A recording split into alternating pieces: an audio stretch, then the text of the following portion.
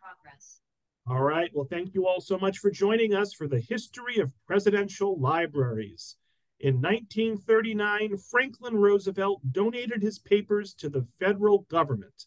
He believed a nation must, quote, believe in the capacity of its own people, so to learn from the past that they can gain in judgment in creating their own future, closed quote. Uh, this began a federal system of presidential libraries that currently has 15 institutions, 600 million pages of documents, 20 million photographs, 7, 750,000 museum objects, and more than 500 terabytes of electronic data. So this afternoon, we're going to explore the history of these libraries and how current issues have forced significant changes, beginning with the Barack Obama Presidential Library. And today's program is led by archivist Craig Wright, who's the supervisory archivist at the Herbert Hoover Presidential Library. So all 100 of us or so who are watching live and the many more that will watch the recording, let's give a big virtual round of applause to Craig for joining us here today and Craig, you can take it away. Thanks so much. Thank you, Robert. And thanks everyone for uh, tuning in uh, and those who tune in later. Um, this is not a presidential library, but it's one of my favorite photographs. The White House is in the background and the West Wing is in the foreground. Uh, those of you who might have been to Washington may notice something unusual. The circular part that juts out from the West Wing was the Oval Office when Herbert Hoover was president. That was not wheelchair accessible. So when Franklin Roosevelt became president, they did a little modification and moved that to the corner, uh, to the right side of that building. And that's where the Oval Office is today. And if you can actually see the little fenced in area on the right side, that's where they hung the laundry in Hoover's time. Oops, let's see here. All right. So presidential records, uh, dividing it into four phases. Phase one was from George Washington until Herbert Hoover. In this case, during this period of time, the records were considered their personal property to do whatever they wanted to. Some presidents destroyed the records. Some, some presidents gave some of the records to the Library of Congress. Some gave them to their states. They could do whatever they wanted to. And uh, uh, see, Herbert Hoover, who has a presidential library, uh, there's a picture of Stanford's campus there. Herbert Hoover was very, uh, he went to Stanford in the very first freshman class at Stanford and was on their board of directors for, I think, 50, more than 50 years. So, starting in 1919, after his food relief efforts in Europe, he started ha- moving and all of his papers he was accumulating over the course of his life to the Hoover Institution at Stanford University. Um, and I just sort of mentioned there, he, he started it off with $50,000 in 1919, which was 883,000 plus in 2023. On the right hand side there, you can see somebody working with the records, which would make sort of archivists shiver today because that's sort of not how uh, we modern archivists handle our records, uh, keeping them tied up in acidic uh, coverings like that. Phase two uh, basically goes from Franklin Roosevelt to Jimmy Carter. The records are still considered their personal property, uh, but they give them to the people of the United States under a deed of gift, uh, a donor agreement, as it were. Uh, within uh, the NARA, some of the things I say in here are sort of uh, the National Archives and Records Administration. I already used a shorthand, NARA. So the National Archives and Records Administration, who I work for, we have little phrases for things. And so deed of gift libraries is DOG libraries. And uh, the actual map here shows where all the 13 presidential libraries and uh, are. Um, Robert mentioned there's 15, and that would include then uh, Obama and Donald Trump. and they do not actually have a physical library like the rest. And I will certainly mention that a little bit more later on. But this just shows you uh, all over the country where the various presidential libraries are. Uh, for those of you who might be familiar with Michigan, where I grew up, there's two stars in there because Gerald Ford has his library in one city and his museum in a different city. So a little every presidential library is unique and reflects in some to some degree uh, the president uh, of which they serve. Uh, I mentioned the National Archives and Records Administration. Today, these federal uh, libraries are run by the National Archives. Uh, some of you may have been to Washington. You'll notice the top picture there is what we call Archives One. That's in downtown Washington, D.C., has the Constitution and the Bill of Rights and, and those types of things. Underneath it is what we call Archives Two in College Park, very close to the University of Maryland campus, where they have actually several million boxes of paper records. So it's it's rather huge. And I just wanted to point out here that NARA is not just presidential libraries. And again, I'm using 13 because I'm talking about physical libraries, not just the papers. Uh, which uh, and then they also control uh, regional repositories in 14 different cities. What they normally have there are records of various government agencies uh, rather than the presidential records. There are also presidential libraries that are not run by the National Archives. And I've listed a few here. Abraham Lincoln is actually, that's the photograph of the Lincoln Library in Springfield, Illinois, which is run by the state. Most of these are run by the state. I also mentioned Jefferson Davis, since he was actually sort of president over some of the states back uh, during the Civil War. Uh, he does have, although I think it might have been hit by a hurricane. Don't don't quote me on that. But uh, anyway, there are other libraries. Most of them do not have the papers, although the Lincoln's been trying to collect as much as they can. Uh, most of them are really more the museums and uh, designed to help sort of tourism in the in the places that they're located. So when it becomes a deed of gift library, what we see is uh, public and private collaboration. This often works smoothly, but sometimes causes tension. Uh, the, the, the key things to know are the president is raises the initial funds on his own. The initial building of the library, physical building, is not paid for by taxpayer dollars, but raised privately, uh, normally with the president. Uh, the archives side, which is the history and the papers, and the, the part that's been gifted to the people of the United States is actually uh, thank you all for taxpayers. You help pay my salary, but that is from public money. And the museum and telling the stories usually of the presidents, and sometimes there's temporary exhibits about other topics.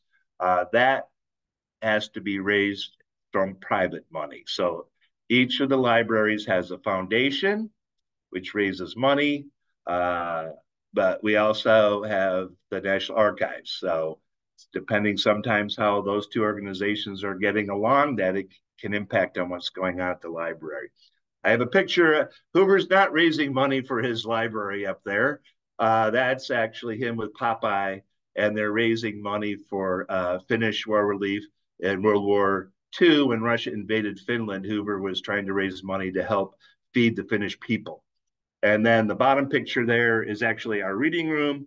Uh, we have a class of students there. We we serve a number of educational purposes here. Uh, a lot of classes are interested in trying to integrate primary source material into their uh, classwork um, rather than just reading history books uh, and having someone tell them what history is. They get to experience it firsthand.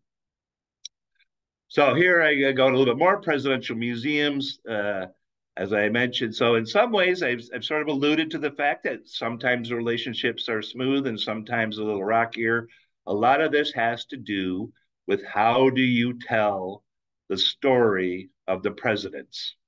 And as you might expect, people who are raising money are normally want to tell the most positive story possible, and they want to shine up all the positive thing that these people have done, which is fine. But sometimes they can maybe stretch it a little bit, or the, the National Archives staff normally tends to want a little more uh, balanced story. Um, and again, sometimes they're in complete agreement. So uh, I don't want anyone to sort of take away the idea that everyone's the same throughout their their time of existence. Uh, the middle book there, the last campaign, again, sort of talks about these issues. In that I worked, uh, Tony Anthony Clark uh, did research at all the presidential libraries, and uh, this is the book he came out with, which sort of talks about the nature of libraries. It's more focused on how they want to tell the stories. He loves the libraries, he loves the archivist, he loves doing research, but occasionally, sometimes the director of the library has also been the president of the foundation, and that causes some people some people consider that a conflict of interest, and but it's happened only once so far in history. But Tony, Tony uh, thinks he's trying to warn about things or if, if libraries are do, overdoing things. Um, the other books there are really from archival literature that talk that they talk about there's sometimes political pressure on how to tell these stories. And then there's also a whole group of archivists who are interested in telling stories of maybe the people who have not been talked about as much in history. So all of these things sort of blend together as uh, we try to work through and tell our stories. At the Hoover Library here, we're actually in the middle of raising $20 million to redo the, the Herbert Hoover permanent exhibit.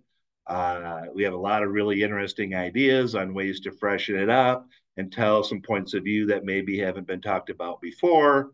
Um, so one of the examples of this friction, for example, the Hoover Library began in 19, it was opened in 1962 as part of the National Archives.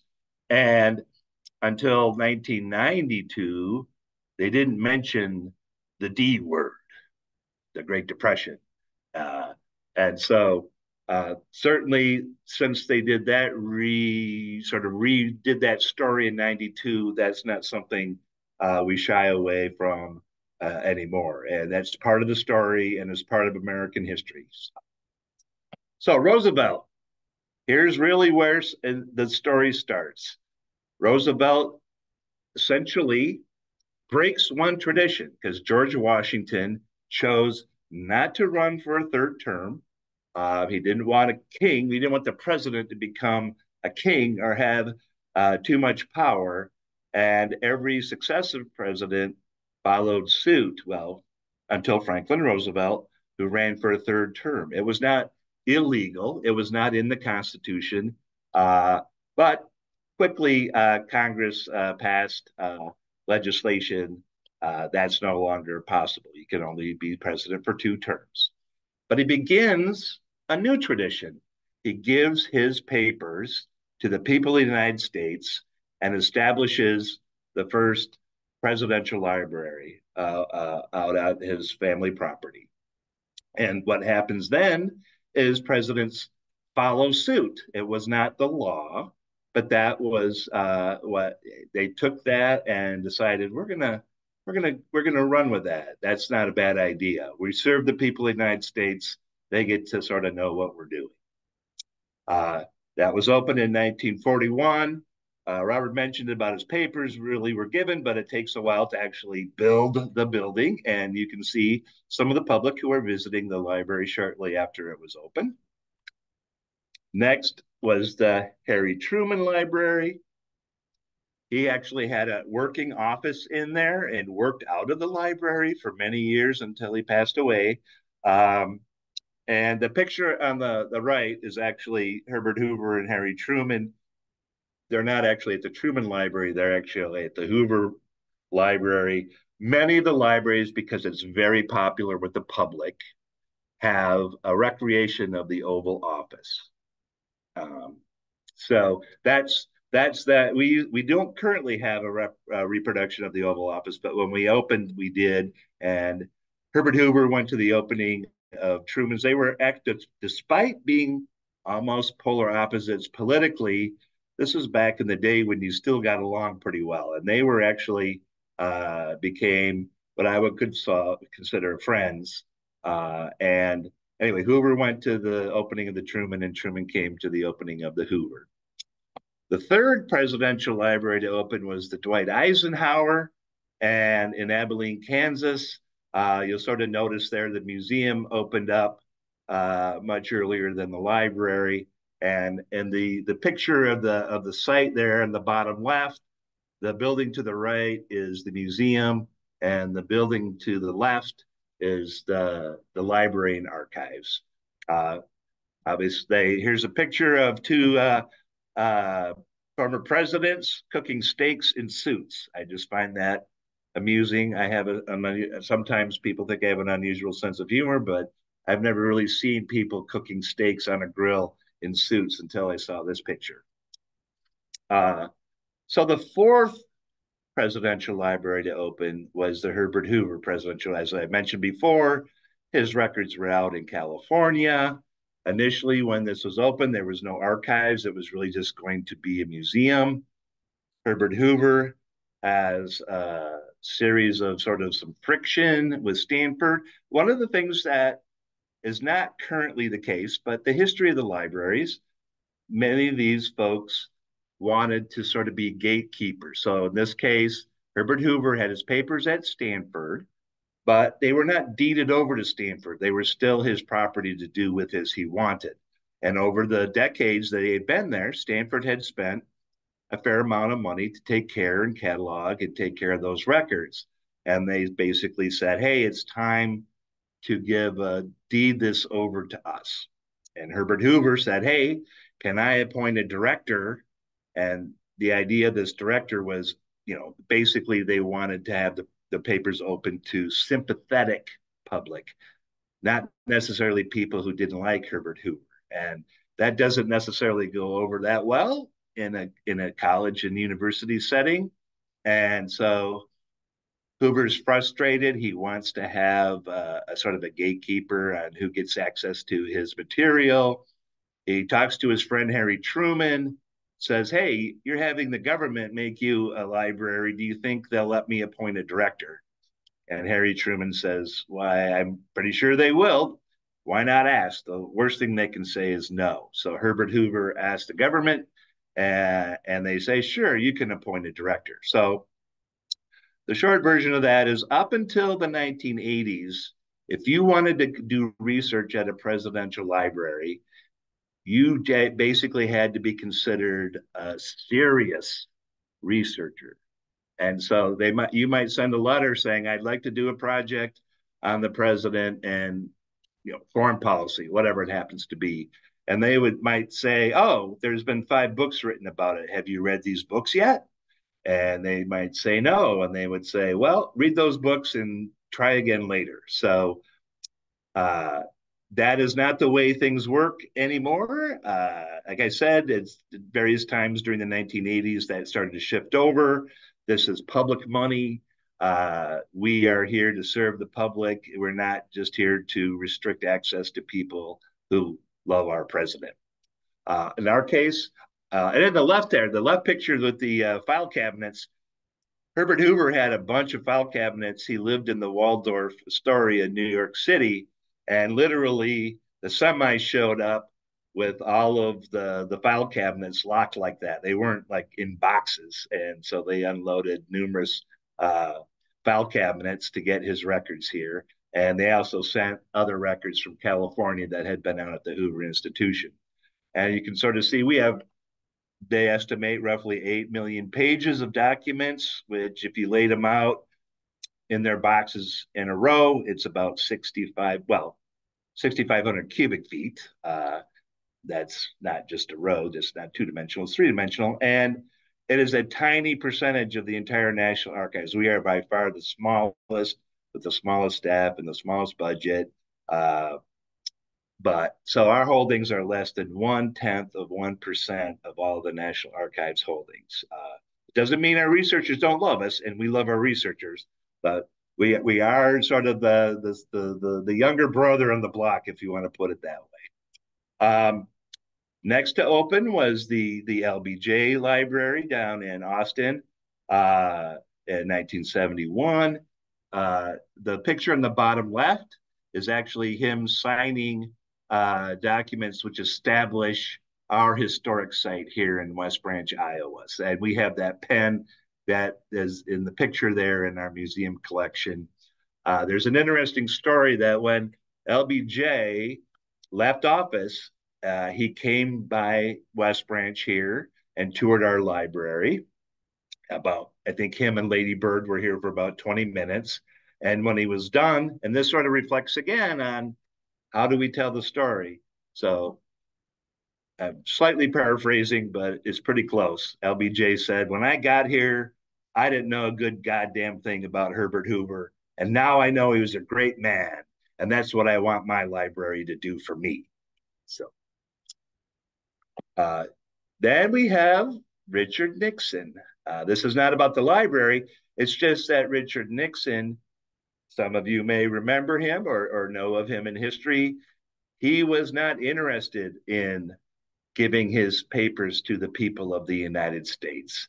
Um, so actually, we have these stamps that says G- GOP, Generation of Peace, when he ran in 1972, that was used to raise campaign money uh, for po- people who didn't like him so much. Uh, uh, you can sort of see on the right hand side there, that's an envelope that was made in California when the Nixon stamp was going to come out. So the people who didn't like him so much created this picture that you put his stamp in, which is not the most flattering.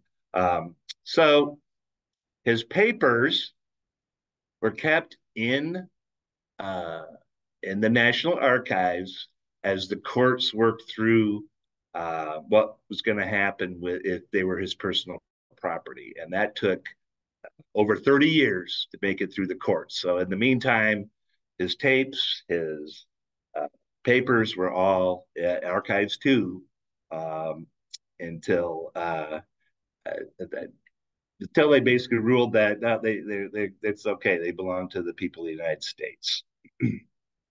ah, okay. Next up, John F. Kennedy, Presidential Library and Museum, 1979. And part of the reason it took so long for the JFK library to open was because for many years they were trying to find a site in downtown Boston. And that real estate is extremely expensive. And eventually they realized that maybe we really shouldn't set it up downtown.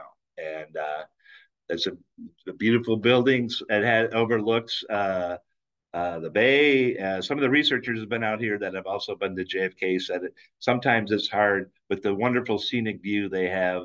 It's hard for them to focus on their research because they uh, just love the situation. And then the bottom right there is a picture of uh, JFK and Herbert Hoover.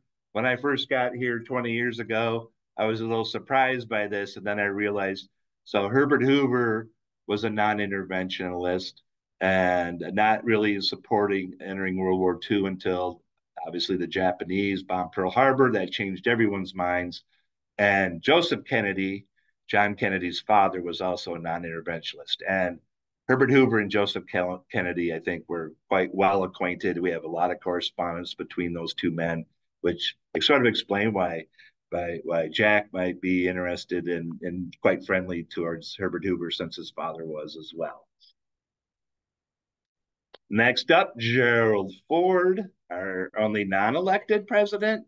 Uh, also, uh, he, I mentioned earlier, he's sort of a he's a moderate who likes to try to make everyone happy. So uh, he went to the University of Michigan. So his library, that's at the top picture there, is in Ann Arbor, where I went to school. I learned to be an archivist right next door at, at a place called the Bentley Historical Library. So I'm familiar with the, the Ford Library. Uh, and then the really beautiful building there on the bottom is in Grand Rapids, Michigan, and the museum is really uh, a beautiful wonder. Uh, I think. Anyway, so he, you know, he lived he lived in the Grand Rapids area, and he went to school at Michigan, and both of them wanted his library, so he split them into two, which is maybe not the best thing if you're put your taxpayer hat on, but that's how it is. Uh, on the bottom left there, he's with um, Hoover's son, uh, Allan, who's presenting Ford with a, a, book, and they're sharing obviously uh, a, a nice moment. Um, uh, Gerald Ford actually also nominated Hoover to win the Nobel Prize. Uh, unfortunately, Hoover uh, passed away before they had voted, and they don't uh, they don't actually award them to people who passed away. So that was the closest Hoover came. I think he was nominated four times, and that one seemed like it might get through, but he passed away. Um, next up, the Jimmy Carter Library uh, opens in 1986 down in Atlanta. Again, a beautiful, a beautiful site. Um, and here's a case. Uh, Jimmy Carter, as many of you might know, had some very strong interest in his post presidency, uh, building houses and doing all kinds of things. So he did ha- he does have a presidential library, but he really was not.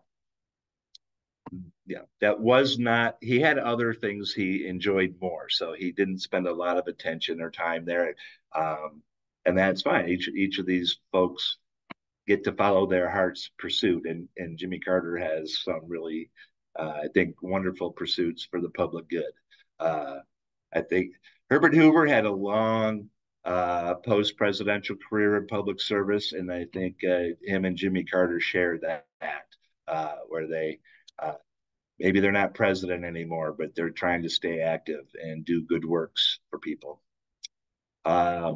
so, phase three, I mentioned earlier, uh, Richard Nixon was not interested in donating his papers to the people of the United States. Um, so even though it took 30 years for the courts, Congress moves to act and they say, no, no, no, no. These are not your personal property. They belong to the people of the United States.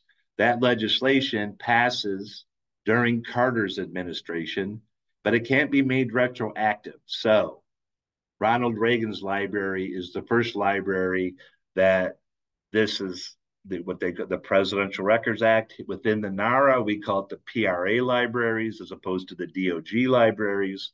Um, and that goes up through uh, George W. Bush. Again, within NARA, we call them Bush 41 and Bush 43 because that's the number of their presidency. Um, got George W. on the right there with Obama. Um, a little shot, I think, from the Reagan there. Um, anyway, having said that, it might be people might be interested to know that it's only the president whose papers are considered belonging to the people of the United States, not the vice president, not the senators, not members of Congress. All of those folks, it's still considered their personal property to do with what they want. So, Ronald Reagan, uh, this is old. Now, he opened in 1991. Um, you'll notice from this, their website now matches all, I think pretty much all the libraries that if you go to their website say Presidential Library and Museum.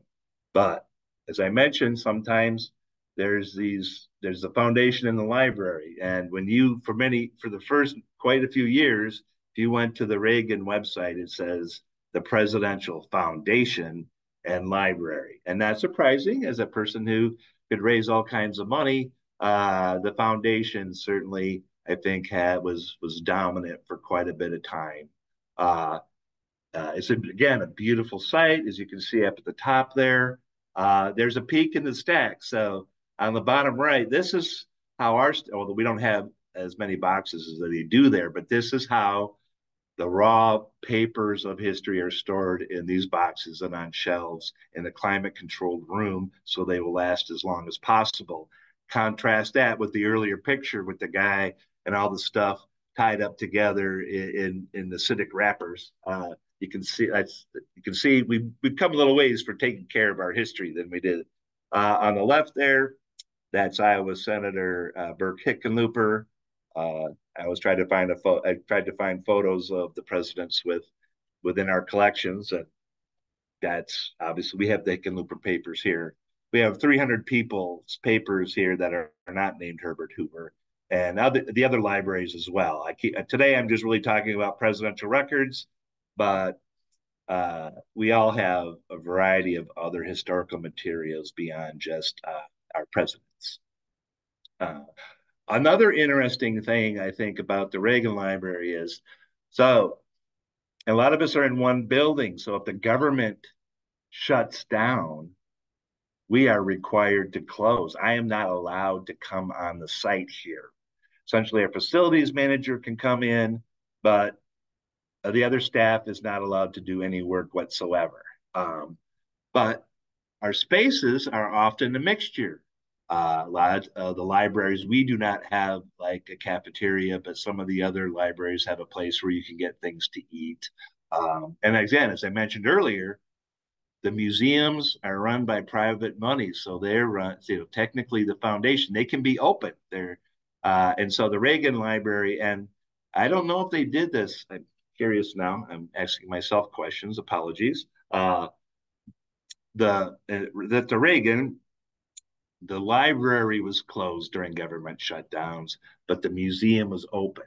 And also, uh, the food uh, was open. And here we live in a small, we're in a small Iowa town. And when the government shut down, our local eating establishments business went down by uh, like two thirds. Uh, so they, there's a ripple effect when when the government shuts down and and uh, we have to stay home. There's uh, there's a number of businesses that support us that also suffer uh, when the government shuts down. Uh, George Bush or H.W. Bush Presidential Library. I like baseball. Hoover loved baseball. When uh, George was at Yale, he, they actually uh, Babe Ruth gave some papers to Yale, and so here's a, a publicity shot where Babe Ruth is giving Bush uh, some of his stuff as to mark the occasion. So that's 97. Uh, Clinton. Um, Clinton uh, uh, actually has been given a lot of credit for revitalizing that area of Little Rock. it has more glass than our entire square footage here, which I think is uh, sometimes a headache for the maintenance people. Uh, uh, Clinton unlike Carter, I mentioned Carter was not that, you know, not that engaged with his library. Clinton, uh, one of our former staff people here became the museum person over at the Clinton, and uh, he would occasionally like to sit down and in their replica of, of the Oval Office. And she said that when they go in there the next day, he often had moved things around, and so they were trying to put them back where you know where they where they thought they should be uh, for their display purposes. um, and the Nixon Library. This is no longer the the uh, color scheme, uh, but it had been established as a private library. Remember, the papers were in uh, Archives Two, and the court was trying to decide what to do with the papers uh, the Nixon um, fans uh, established a library. Obviously, didn't have the papers, but in 2007, it actually joined uh, the National Archives, and uh, the, the, National Archives has lots to do with it. Again, beautiful, beautiful Yorba Linda, California, uh, and also. We didn't mention the D word here for 30 years. They didn't really talk about Watergate at the Nixon until it became part of the. There was a small exhibit about the size of the door that was around a corner, um, and so you'd have. I think the people told me you really didn't even notice it was there unless you had to go to the restroom, and you turned the corner to go to the restroom, and there was a little piece on on the Watergate, but. That is no longer the case. Uh, also, that picture of Richard Nixon and Elvis is the most reproduced image of anything within the National Archives. Uh, so Elvis is still king, and maybe Nixon's riding his coattails there. I don't know. Uh, George W. Bush Library is the uh, first library. We'll get into this as we get a little further. That has more digital information than paper. And so, as I'll be talking a little bit more, there's a shift here uh, as we're in the modern age and we're moved to digital information and much less paper is being generated. Uh, this is a tipping point where there's more digital than paper. Uh, I uh, we have a, a, minor connection here. When we are 10 miles away from the University of Iowa, one of our interns who then liked it so much he then volunteered for us. Uh, he then went to work at the Gerald Ford Library as, a, as an archives technician, took some classes, and then was hired as a full archivist at the George W. Bush Library. And then he was the first archivist hired for the Obama Library, which we'll get into in a second here. So Obama begins phase four. I've alluded to earlier, yes, the, the, the National Archives considers that we have 15 presidential libraries. And I and I'm talking about 13 physical brick and mortar structures. Uh, currently, the Obama materials are in a warehouse in the Chicago area where uh, NARA folks are busy.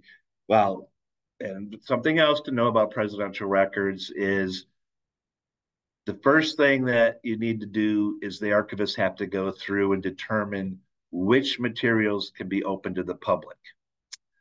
By law, I believe it's supposed to be 16 years. I might be wrong. It might be 12 or 16. Theoretically, all the papers are supposed to be open to the public. Unfortunately, when there's millions and millions of pages that need to be reviewed, it's not physically possible to review every page in that amount of time. And I, uh, con- the, there's occasionally talk in, in, in Congress about maybe we can relax that rule a little bit to try to get more pa- more papers open to the public uh, more quickly.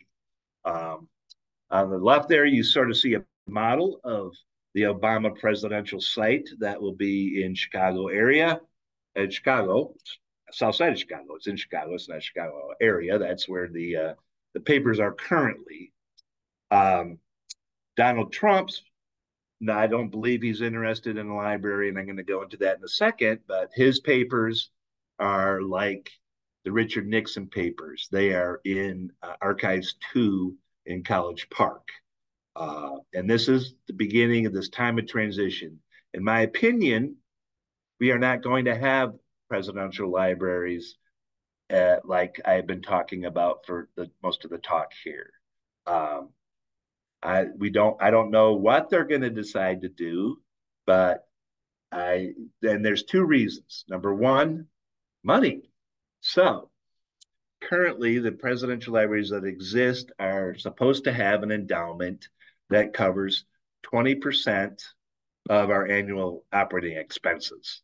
Uh, I think most of us are pretty close. I think some of them are a little short of that, but I mean eh, that was sort of the the rule of thumb.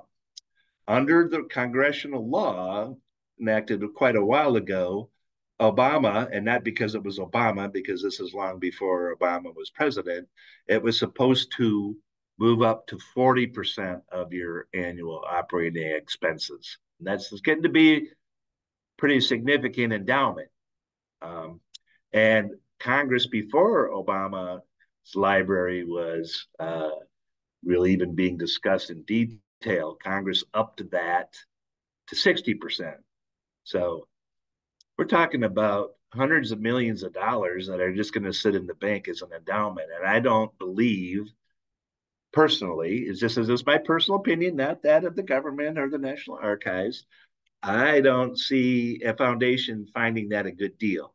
You might find out with uh, Biden whenever he leaves office if he decides he wants to do a library. Uh, if they decide it's worth the effort to have that substantial endowment, that is, you know, I think it's almost bordering on costing more than the darn building, and that's that's already as it has to be raised publicly. It's not it's not your tax dollars to create these places. Um, the other element that I think is a significant impact in this transition is, as I alluded to earlier, almost all of the information is digital.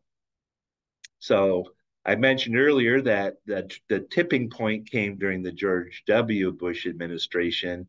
I don't remember how many terabytes. I think there was actually a ter- ter- more than a terabyte just of the doggy cam. If you remember, some of you might remember, they had a little camera on one of their dogs, and you could see him running around the, the White House and stuff. Uh, anyhow, so Obama was going to have a presidential library. And like I mentioned, one of our staff, former uh, interns was hired as the first archivist for the Obama Library.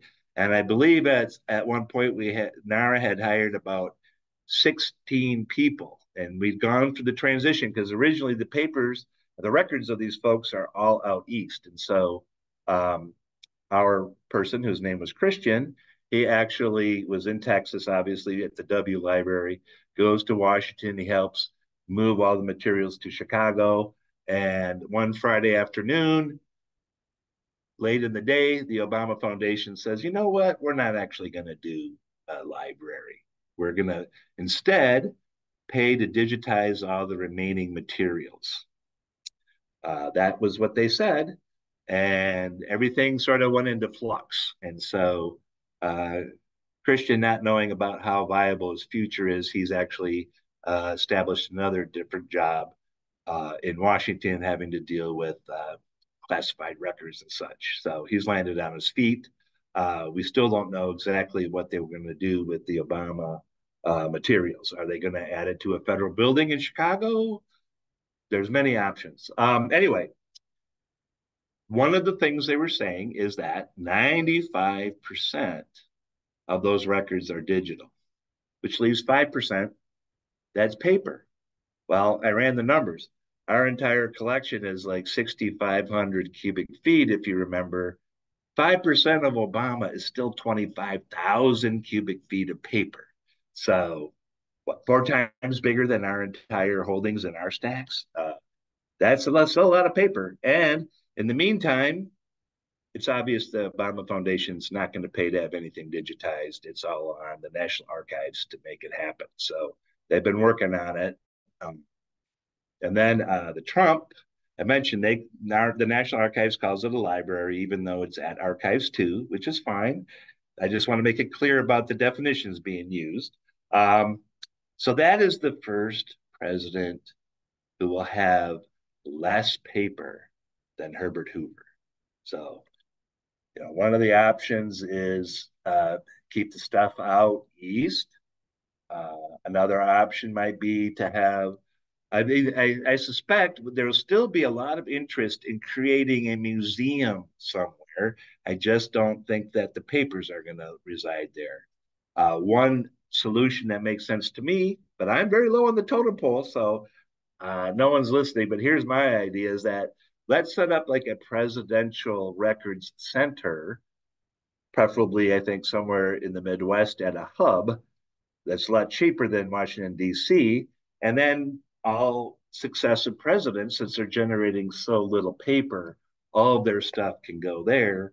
And there's an easy to access place uh, for researchers who might need to look at uh, the original papers that remain. As treaties, there's a number of categories of material that we are still going to always have paper moving forward. Um, but the vast majority of it is going to be digital.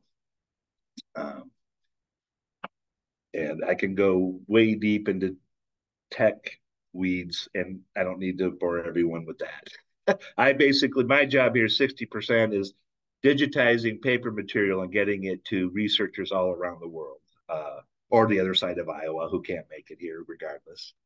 Um, so now, uh, I think got uh, some time for questions here. Uh, I'm going to mention my uh, one of my favorite photographs on the left. There is Betty Ford, who was a trained dancer, and this is actually on her last day in the White House. The family had hired a photographer to take candid shots of the family while they were in the White House and she's touring around the White House with the photographer, and she says, "I always wanted to dance on the, the cabinet table where the cabinet meets." And the photographer said, uh, "Betty, I think this is your last chance." So she kicks off her shoes and got up and did a dance on the table there. And so I, I just love that photograph. Uh, the other one that I enjoy is on the right hand side there that really has to do with prohibition, which is nothing else in my talk, but I love this idea Hoover or saloon. What would Jesus do? And you have a, a, little girl there, I think, trying to evoke sympathy for maybe you guys shouldn't be drinking. anyway, any questions? Uh, All right. So, folks, let's give Craig a big virtual round of applause. And as he said, get your questions into the Q&A, your comments into the chat. Uh, we have at least 11 minutes here to go. Uh, Nancy says, Nancy's going right forward right away. Okay. Nancy asks, are classified documents held in these libraries? And what will happen to Trump's and Biden's and Pence's classified documents when the courts are finished with them? All right. Well, not a surprising question considering all the news that's going on today. So, the answer is an archival. Uh, I always call it, say my archival answer is it depends. So, number one, most uh, only five of the presidential libraries still have classified materials on site. We actually uh, have never, I don't know if we've ever really had them here. There are some folders. Most of our classified material, maybe some of you have seen the, the movie Oppenheimer. Uh, there's a their character in there, Lewis Strauss, who actually we have his papers here. And since he ran the Atomic Energy Commission for, for quite some time, there are a number of folders of classified materials from his uh, his papers. Those have always really resided in Washington. Our entire volume of classified records is probably, if you remember those little boxes I showed you in the in the stacks, maybe two of those boxes, and they are currently held in Archives Two. And um, we do not have the capacity to declassify them. The Office of Origin, whoever created that document, reviews it and decides uh, whether or not to uh, declassify. Now, one of the cost saving measures that the National Archives thought might be interesting because ha- we have a, there's a lot of special extra security and rooms, costly stuff that it takes to keep those classified materials as one might expect. We want to make it extremely hard. Only the people we want to are. Eh, I used to have top secret security clearance.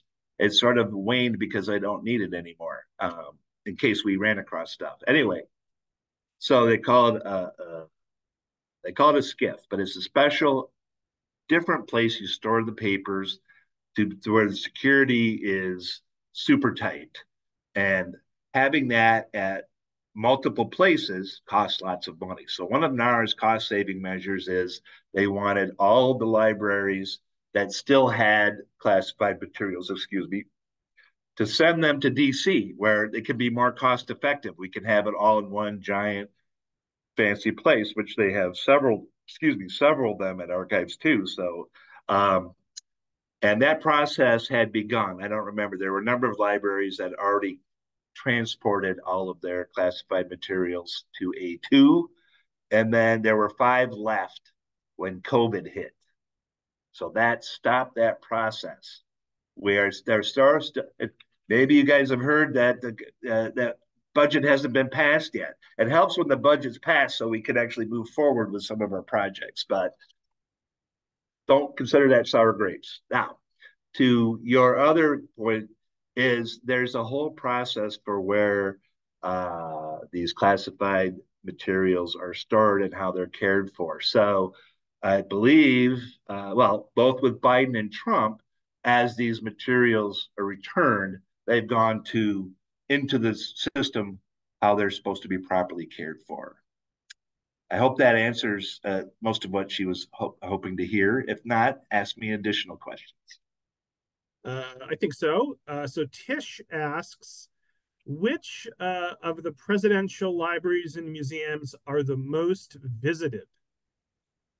I would say most recently it's been uh, the Bush 43, the George W. Bush is the newest. Normally it's the newer ones. And then there's actually two different elements to this question. So there's visitation for the museum to come see the exhibits and then there's visitation for our research rooms where people are accessing materials to do history or National History Day projects for the kids or for whatever purpose. Um, so normally what's going to happen is visitation is the highest at the most recent place because it's the newest. I'm going to put a caveat in there because it fluctuates. So when a library does a major renovation, for example, when our little $20 million project is done and they've redone all of the exhibits on Herbert Hoover, incorporating Lou Henry Hoover into it more and, and other things, we will see a rather large spike in a, in visitation here when that happens for usually that happens for a couple of years and then it plateaus out at a new level. Having said that, we're still the smallest, so although I expect our attendance to go up significantly, it's still not going to probably hit uh, the level of uh, some of the other libraries. And the other thing that's beneficial is if you're in a large urban area, obviously it's easier for many, many people to get there. Uh, so, but I, I think generally speaking, I'm not really too far off if I say probably overall the W is the, is the most visited for museum visitation. Uh, very little of the records are open yet. So I'd have to actually try to do a little calculation, which I won't do right now, where you sort of see who's who's the who's the president that's recently had a lot of those records opened up to the public. Because uh, most of the holdings of the newer libraries are not open to the public until, like I mentioned earlier, until every single page and every single page on a digital document are reviewed for the nine different ways that it might be uh, restricted for a certain time period. So, uh, Nancy asks, who pays for the endowment?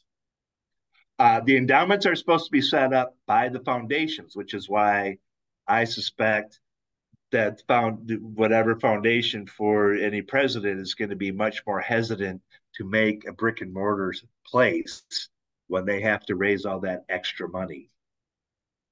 Christine asks Are the president's descendants major contributors to the libraries and museums? I'm going to go back to my favorite archival answer. It depends. so many years, uh, the JFK, for example, I believe uh, the daughter was on their board, uh, which was, and also a number of Fortune 500 companies. So they had uh, a lot of access to a lot of funds. You get back to the older ones like Hoover and Roosevelt. Uh, there's we we have fam, Hoover family that's still active in supporting um, the library, but not so much financially. They're on our foundation board and they're involved in the decisions for the new exhibit. Um, and actually it's uh, Margaret Hoover who hosts Firing Line is, is on that, and her cousin uh, Margaret uh, no no uh, Leslie Hoover Laubel uh, is also uh, active on the board, and Allan Hoover the third. So we have a number of Hoover family members who are interested and support us in various ways. not not so much financially. When when I first got here. Um, Allan uh, uh, the Herbert Hoover the third. So the family always called the president uh, Bert, and that's what I often refer to him as. His his first son was Herbert Hoover Jr. was always referred to by the family as Herbert, and then his first male grandson was known as Herbert Hoover the third. He told me they ran out of nicknames for Herbert, so they called him Pete after the family cat, and he was a delightful gentleman. He, uh, I mean, he stopped with his wife and sat down and answered questions from third graders for 25 minutes in our lobby. And uh, he he was really, and the part of the reason I bring him up is he's the last per, family member that I know is active in helping us raise money for our activities here. He was really good uh, about saying, "Hey, I'm willing to donate fifty thousand if the foundation board, I'll match what the foundation board raises. So that when you have that kind of incentive, people go out and, and shake the trees a little bit harder, right? So uh, when I got here 20 years ago, he was he was still active, and he he certainly uh, uh, I thought they had some financial contributions to our work here, and the family's still active. Um, I think most of the places the family is active, but every place it's different on how they are are interacting with the libraries. Uh, last question is going to go to Tom, who asks Are all the email and text messages archived? And what about social media posts? Yes, there's uh, the newer the the newer uh, the newer uh, presidents who have a lot of that stuff. All of that is part of the digital information that I went. Now, here's where the younger the younger uh, archivists who are coming in the profession most of them are being trained at how to do this. There's a whole number of systems that you can create to try to make there's multiple copies that are saved and things are checked every day to see if there's any kind of file corruption. I mean, again, I can go into way too much detail, but yes, um, one of the things I found interesting is I know some folks were unhappy. There was a period of time, I think, when Donald Trump got rid of his Twitter account or whatever, and people were concerned that uh, that was all lost. But no, it was already being saved. So even though you wouldn't be able to get at it, the public, that digital information remains and will uh, be ex- be accessible at some point in the future. Uh, another technology issue. See, librarians and archivists are early adapters of new technology. Everyone thinks we're sort of dusty old fogies who, who are not willing to come into the modern age. And that was exemplified when Obama came into office. And we are required by law, or the certainly the PRA libraries, to document everything that they're doing as presidents. And I believe he had a BlackBerry, and basically the National Archives said, no, you can't use the BlackBerry until you create a system that saves everything you're doing. The way it was reported in the press is, oh, these Luddite archivists aren't supporting the use of the Blackberries. Like, no, we are. we just want everything to still leave a trail so history history historians will be able to access it so uh, yes uh, uh, the databases the emails uh, now again there, again i can go way deep in the weeds but there are certain things you can put on your phone that will try to delete everything right after it's done so it's a constant you meet with the president's staff you make them aware of the laws uh, hopefully, they will comply.